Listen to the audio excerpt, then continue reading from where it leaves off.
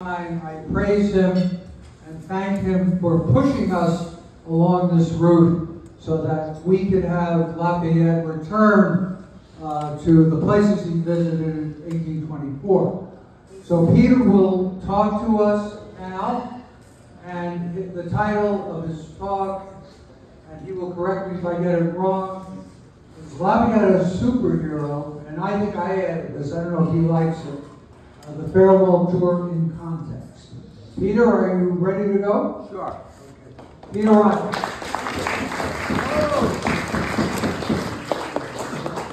You, you know, I uh, noticed that there was that one toast, I think it was the last one, where they talked about Laf- how we would uh, cherish Lafayette's, uh, I can't remember the word they used, but it meant his descendants, I think, is, uh, it started with a P. Posterity. Yeah, his posterity.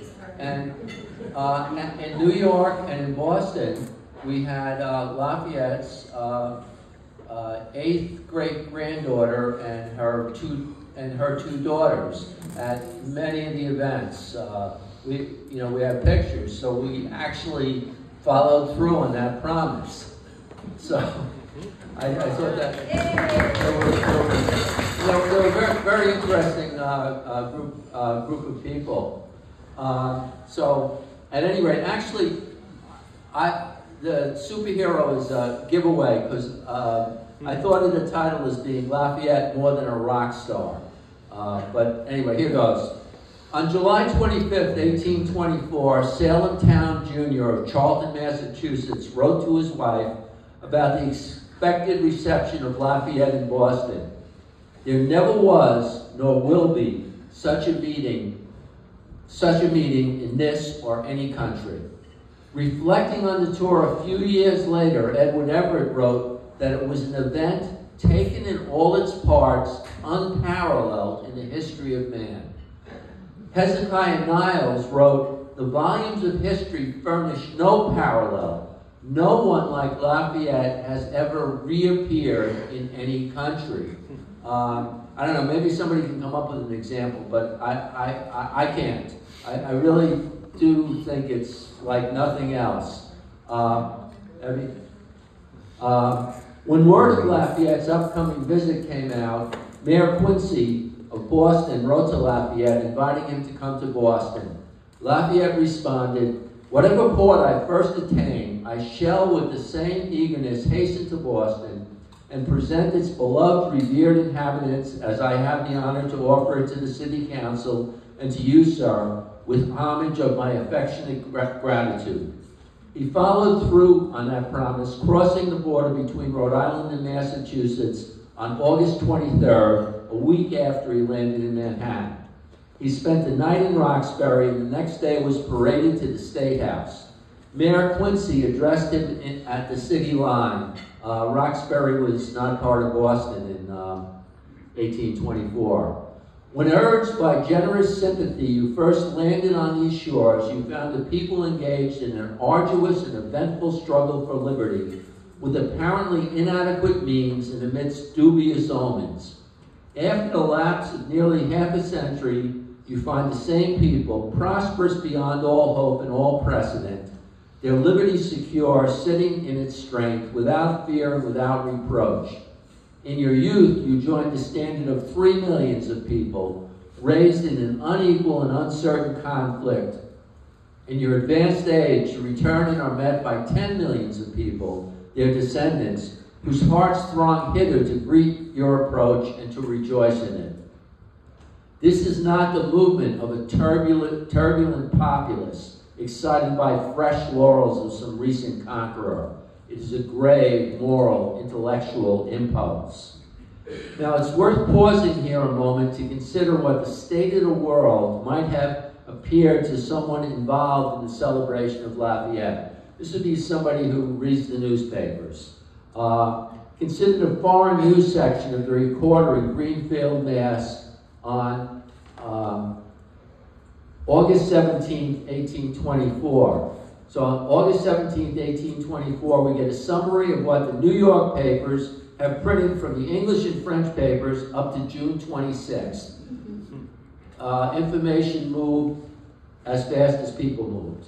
Uh, go ahead. Uh, right. That's uh, Ferdinand VII there, uh, King of Spain. Uh, he's a constitutional monarch, more or less, thanks to Napoleon, I guess. I guess you might say, kind of. Uh, and he doesn't want to be a constitutional monarch anymore. He wants to be an absolute monarch. And uh, uh, the King of France, uh, Louis XVIII, is backing him in that. Um, there's a report. There is a report that one of the independent governments of South America is seeking to buy vessels of war in order that they might place their navy on an equal footing with Spain. In Spain itself, a, degree, a decree of amnesty appears to be mere mockery. More French troops were pouring into the country. And because he's got the backing to, he, he wants to be an absolute monarch. Uh, next. There, there are stories from the, about the fighting for Greek independence. Lord Byron, who had been using his financial resources to aid the revolution against the Ottomans, had died there in April. Um, go ahead. Um, an 18-year-old lad in Newburyport would stand in the pouring rain on August 31st, waiting to shake hands with Lafayette. Pondering his career choices, he wavered between trying to get into West Point or in following Lord Byron's example and fight for the liberty of Greece. Instead, William Lloyd Garrison would found a newspaper called The Liberator in 1831 and helped found the American Anti-Slavery Society. Uh, to understand the full context of Lafayette's life, you would have to have deeper knowledge of American French and general European history than I could ever hope for. But here's how I will sum it up. Lafayette was close to universally popular in the United States. In Europe, not so much. Here's an example of someone who did not like Lafayette. Uh, uh, uh, Clemens von Metternich was going to make the world safe for absolute monarchy. Uh, Henry Kissinger is a great admirer of his. Uh, and I think Henry's still alive, right? yeah. Um,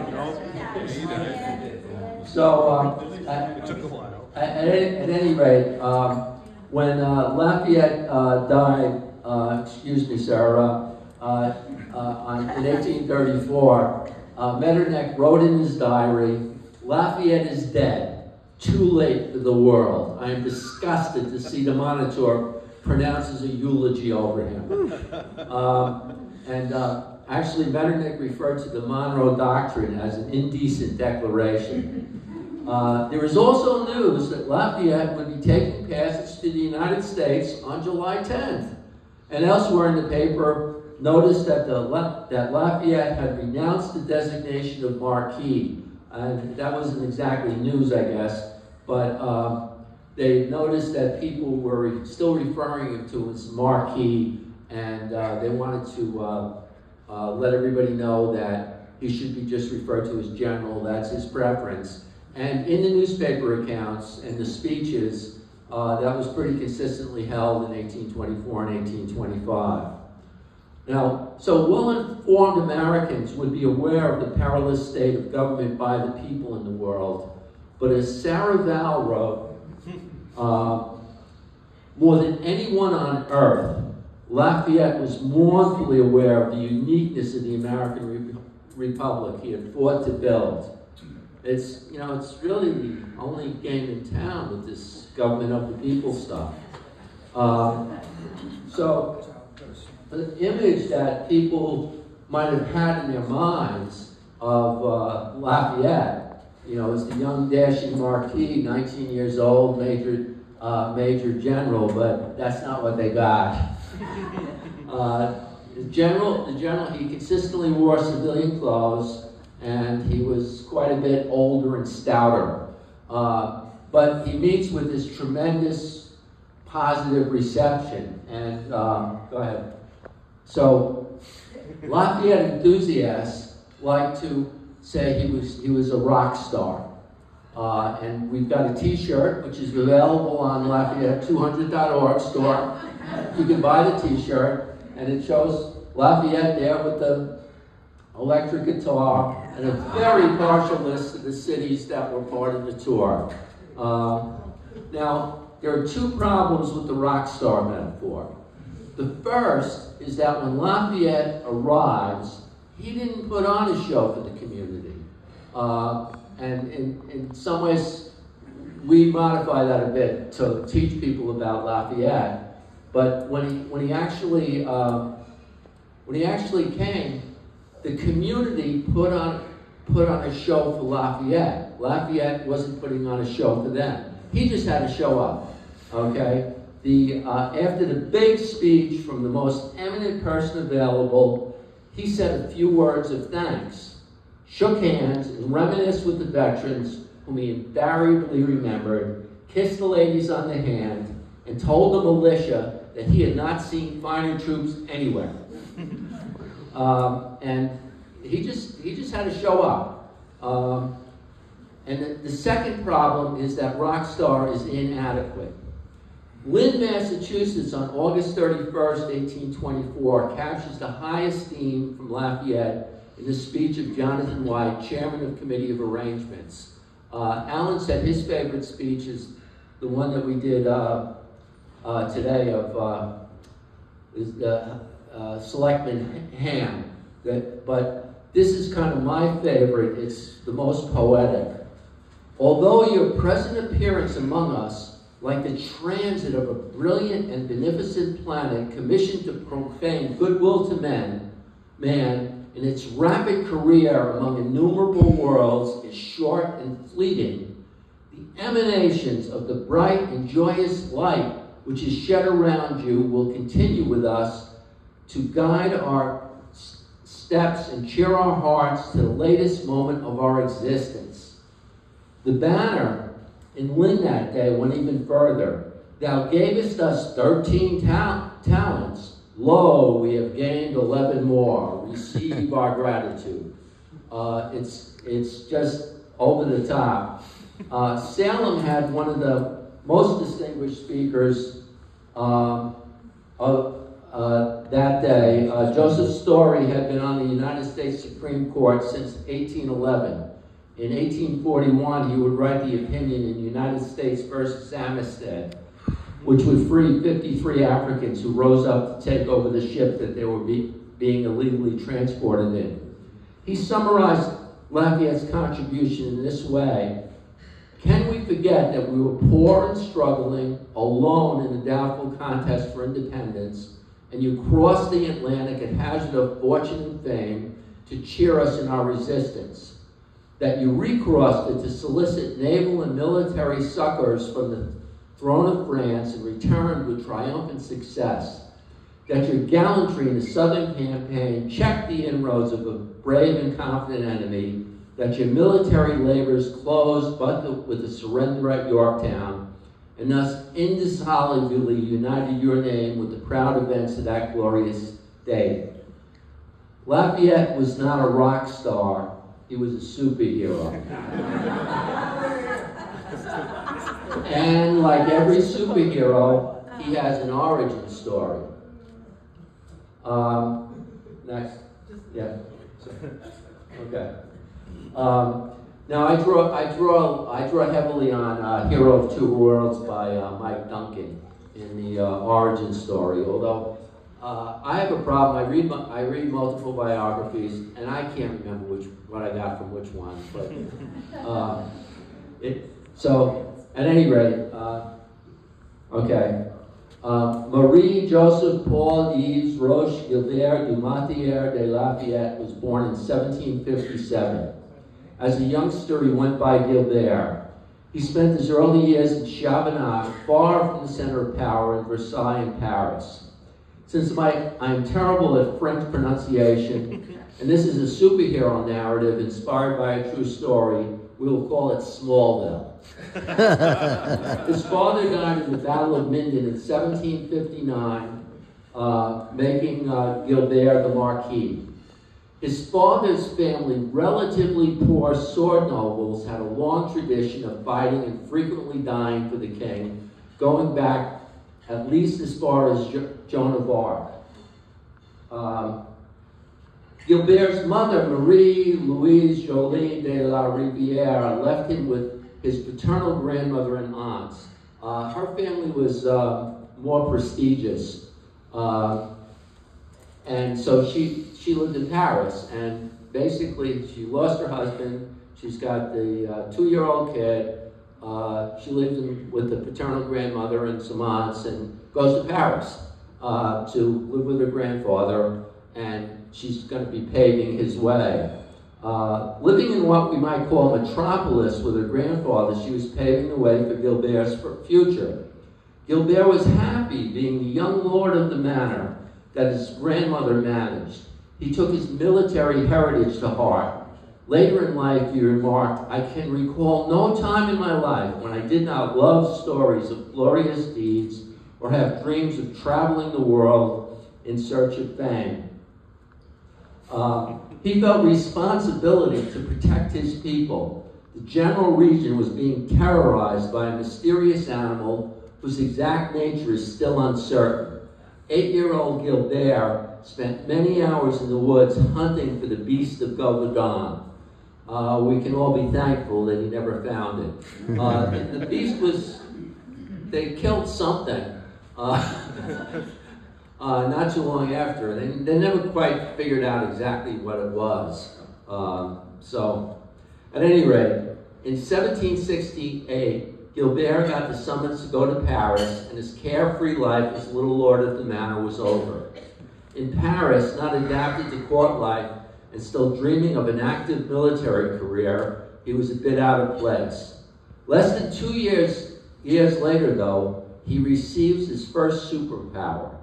In the month of April 1770, both his mother and his maternal great grandfather died. Uh, Lafayette, was, Lafayette is now one of the richest, one of the wealthiest aristocrats in Europe, and the hottest commodity on the on the uh, marriage market. Uh, the uh, so the Noailles family uh, goes after him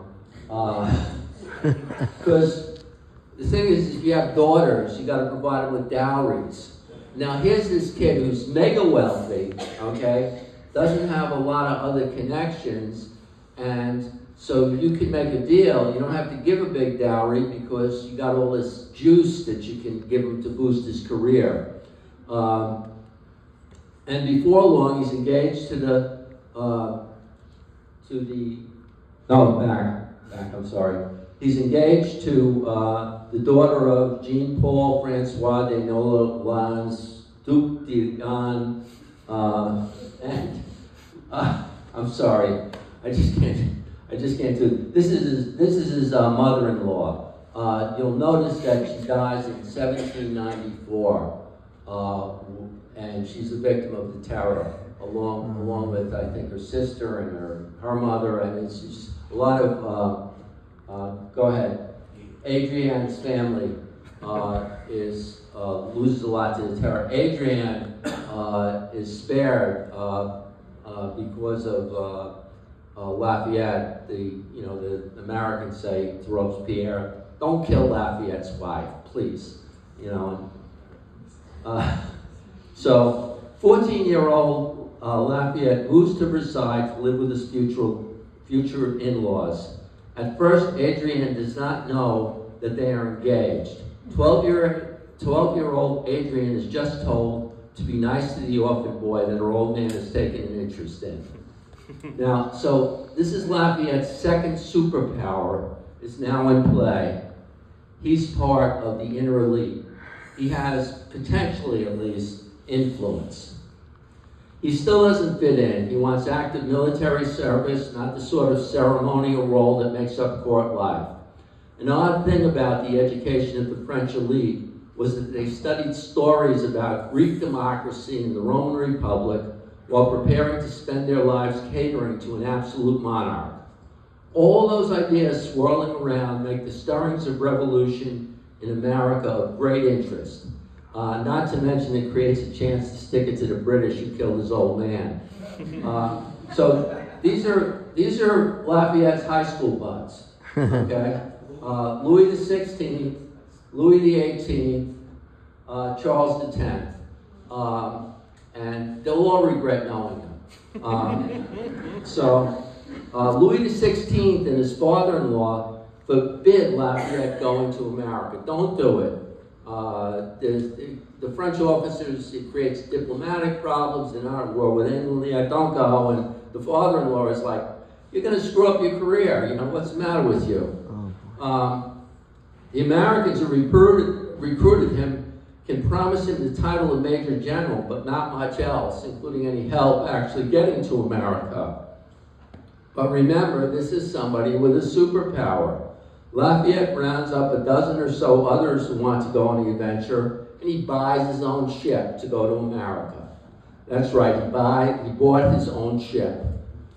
In Philadelphia, Congress is getting fed up with many of the foreign officers who've been recruited who come demanding exorbitant salaries from an impecunious Congress. Lafayette can serve without salary, and people knowledgeable about the French court realize how influential he might be. Ultimately, he will be instrumental in the resources that France provides to the Americans. Um, yeah, okay. Um, so he ends up meeting, uh, meeting Washington and makes a good impression on him. Uh, go ahead. Uh, and he's Washington's instructions are be nice to the kid, make him feel important, try not to get him killed.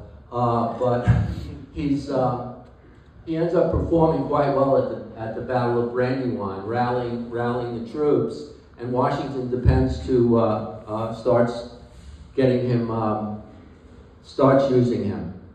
Um, and in a mild but memorable display of his superpower, when he held when he led a light infantry division, he didn't just command it; he equipped it. He helped uh, buying swords for all the NCOs. Uh, okay, let's. Uh, so uh, go. Uh, let's see. So France ends up. Uh, France ends up agreeing to back the America, recognizes America, agrees to back them. Go ahead, and we have the we have the victory at Yorktown, which Lafayette is very instrumental in. And that really seals his reputation as a superhero to Americans. He, he, he visits America briefly in 1784, but then he's gone.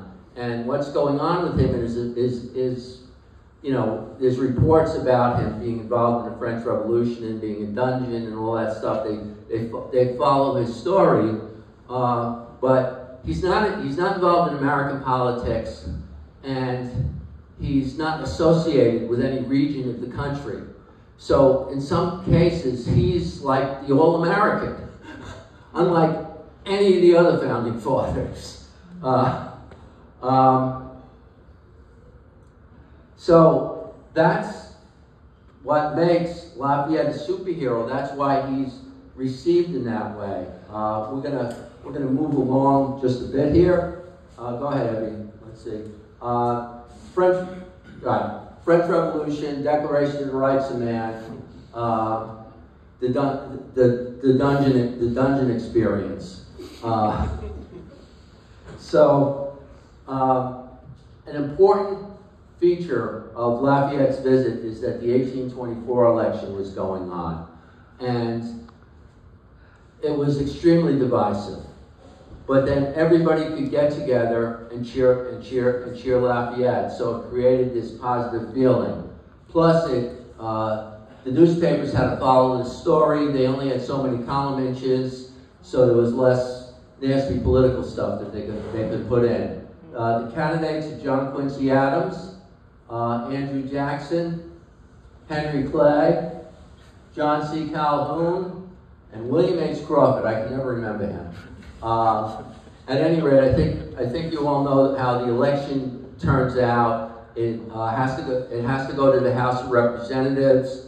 Um, uh, Clay throws his support to Adams. Adams uh, agrees to make Clay the Secretary of State, and the Jet, the Jacksonians are saying this is a corrupt bargain. And there's actually all these emanations going on that there might be some sort of violence, some, some, some sort of coup. And, uh, uh, go ahead. Uh, Lafayette's secretary uh, wrote uh, the book that uh, Alan Hoffman translated, uh, and one of his one of his comments was that he had um, heard this from the Jacksonians, and then after after the after everything was resolved, nothing happened, and so he talked to some of them, and uh, this is the answer he got. We were indeed very busy shouting, but our adversaries did not take account of it, and they were right. They have judged us better than, than we would have wanted them to. Now that the law has spoken, we have only to obey it. We will second Adams with the same zeal as if we had supported him, but at the same time, we will shine a light on his administration, and according to whether it will be good or bad, we will, we will defend it or attack it. Four years are passed very soon, and the consequences of a bad election are very easy to repair. Yes, I said to him, easier than the consequences of legitimacy or heredity. They left me while laughing, and on the following day, no one spoke of the election anymore.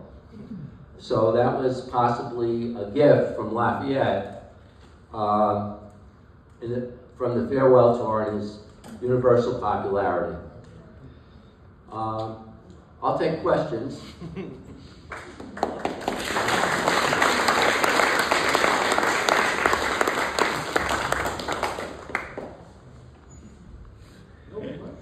No questions? We should give a prize to the best one. Yeah, well, I was tempted to have Evie and, say- I I was tempted to- to say that should just show, show you pictures of New, uh, pictures of New York, uh, but, but anyway, thank you very much, uh, I appreciate it.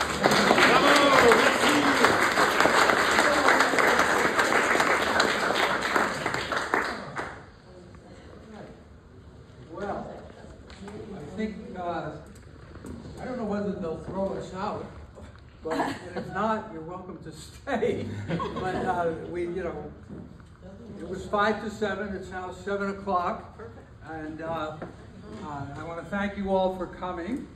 And I hope you enjoyed yourself here and throughout the whole day when Lafayette returned to New Hampshire after 200 years.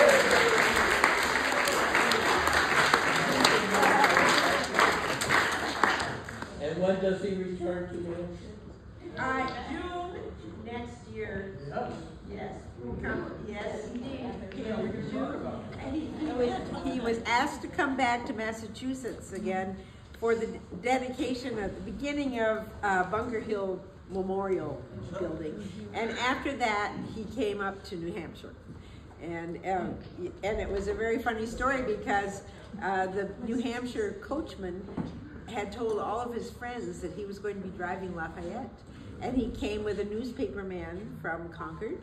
And when they got down to pick him up in Massachusetts, the governor of, of Massachusetts said, oh no, he's not riding in any New Hampshire carriage. and so they drove back and all the way, people thought, oh, oh, I forgot, there's an important moment here. Uh, they came across a veteran of the Revolution. Nobody knows who he was, but he was from Vermont. And he had come down to the Bunker Hill dedication. And his friends had gone off and left him, and he didn't have a way home. So he asked these New Hampshiremen, could he have a ride to Concord? And they said, of course. But of course, what happened is everybody thought he was Lafayette.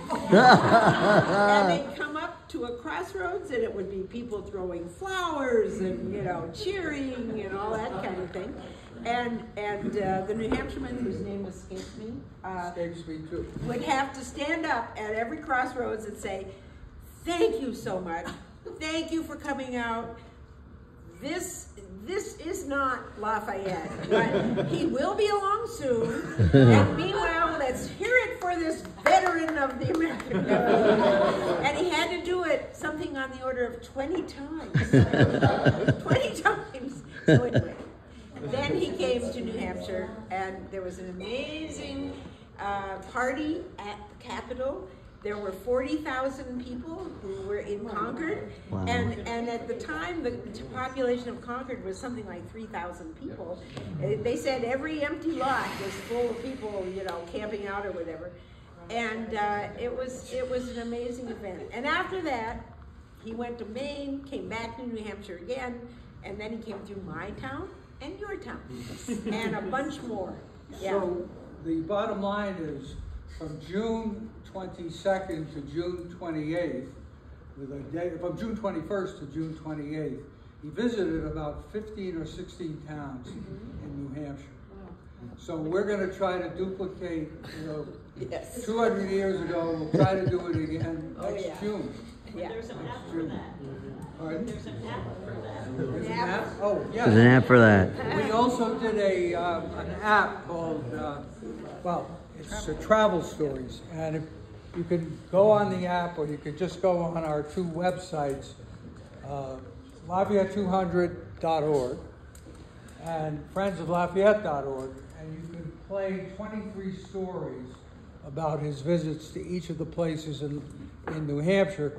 There are four about Concord and three about Portsmouth, and then it's the rest of the town. So I want to finish Dee Dee's story. So the same author in his book says, and when he finally picked Lafayette up at the Methuen line and was able to take him onward Yes. to Salem, Derry, and Pembroke that night, he told Lafayette the story, and Lafayette was laughing. And he said, I've got an idea.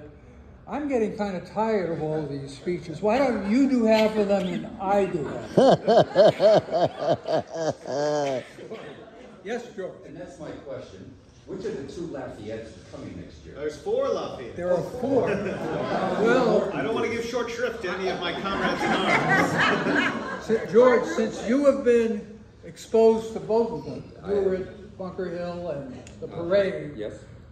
Um, you can see how good they each are. So we would be, Unbelievable. we would be fortunate to get either one of them. Absolutely. But you're the best.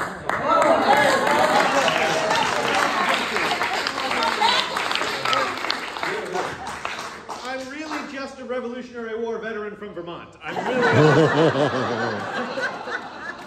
He just, he just sealed the deal. Ah, No, no, we would be privileged to have either of these two oh, kids. They're both great. Thank you very They're much. different, but they're great. But this would be Concord, he doesn't return the place. He does not return to Portsmouth. He sort of skirts it. He goes to Dover and into Maine, but he does not come back to Portsmouth. You can come to Concord, Concord and see him. He's going to be there. Yeah. Or Hopkinton. It's not Not that far. No. It's not that far. You know, she lives in Connecticut. And, you know, when I tell her, well, you ought to drive from here to here, she says, that's 45 minutes. We Granite Staters are not afraid of driving an hour. Because we could be anywhere in an hour. She says they don't cross rivers in Connecticut. So anyhow, it's been fun, and we're happy to have you, and glad you came, and. Great job. thank you. Thank you.